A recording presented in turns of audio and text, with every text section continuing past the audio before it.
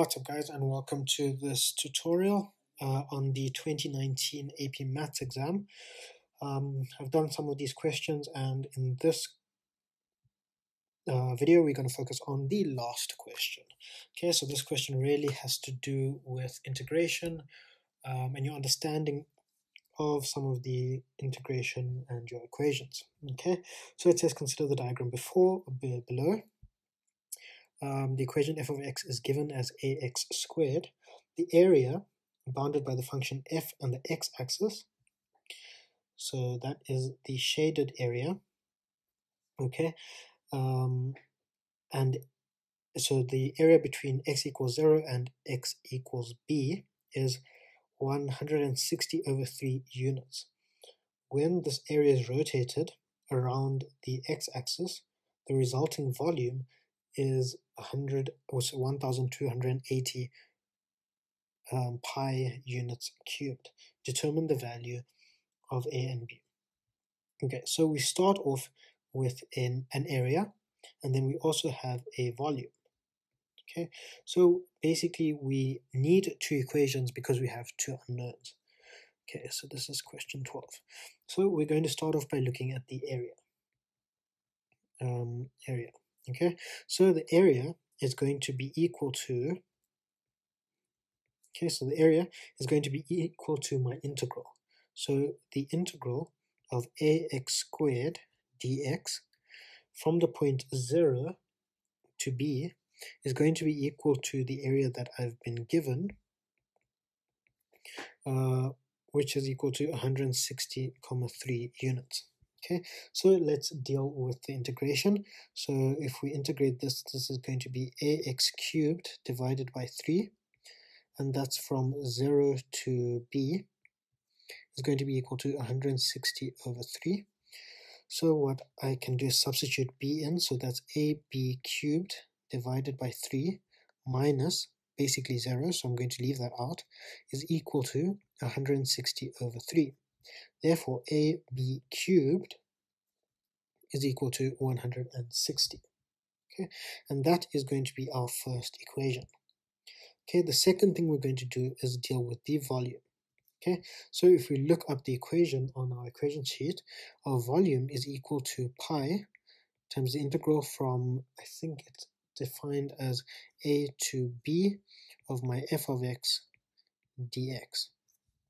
Okay, so in this case, we're going to have our volume is equal to pi times the integral from 0 to b, because we're starting at the origin.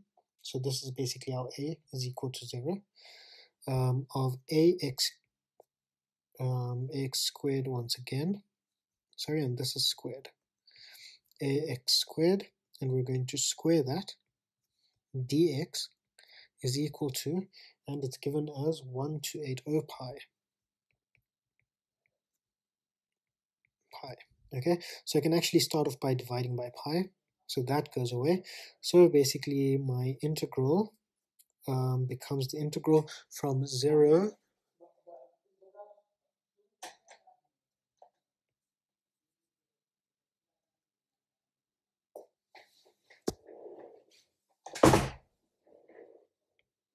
Okay, so the second thing we have to deal with one, two, three, three, two, one, one, two, three. Okay, so the second thing we have to deal with is our volume. Okay, so if we go and look at our formula sheet, we can see that the volume is given as pi times the integral from a to b of f of x um, squared dx. Okay, so in this case, it's going to be equal to pi times the integral from 0 to b, because we're going from 0 um, to b, so 0, a, a is equal to 0 basically. So from 0 to b of ax squared all squared dx is equal to, and it's given as 1280 pi, 1280 pi. Okay, so we can start off by dividing by pi on both sides. So we're left with the integral from 0 to b of a squared x to the 4 dx is equal to 1280. Okay, now we just need to integrate.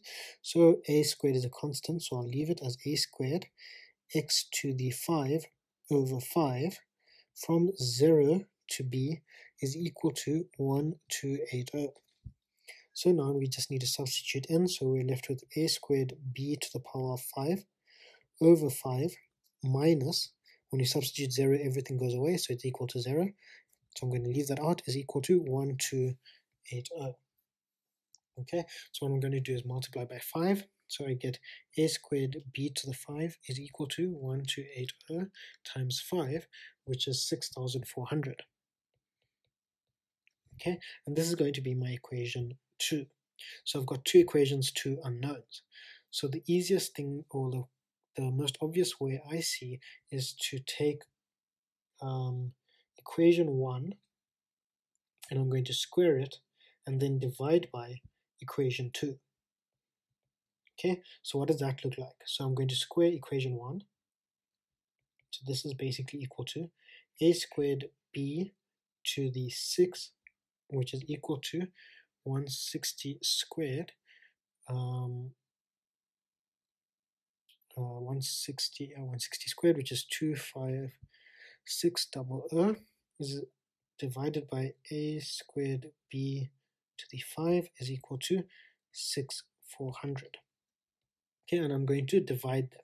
So when I divide them, the a's are going to, so basically I'm dividing this. Okay, so the a's are, a's are going to cancel each other. So I'm left with b is equal to 2560 divided by 6400, which is equal to 4. Okay, so b is equal to 4. Now I just need to pick one of my equations. Let's pick equation 1 and substitute b in. So I'm left with a times 4 cubed is equal to 160. So a is equal to 160 divided by 4 cubed, which is 5 over 2. Okay, so those are our answers. Okay, another way uh, you could have done this, okay, this is pretty much the easiest way. Otherwise, we could have let a be the subject of the formula here. So a equals 160 over b cubed. Okay, let's do this in a different color purple.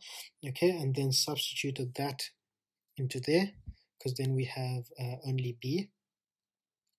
Um, yeah, and solved it like that. Okay, let's just walk through the logic here. Basically, we were given what the area is, we were given what the volume is.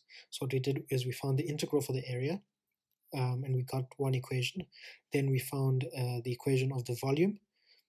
Uh, this was from our formula sheet this equation up here is directly from the formula sheet and then we got a second equation then we had two unknowns and two equations for which we could solve um, we did that by squaring the first equation and dividing it by the second equation and then we got a value for b. Using the value of b we got the value for a. Okay so not too difficult and we got 14 marks which is quite a lot considering the entire test is out of um, 200 yeah so thanks for watching guys. I hope you found it useful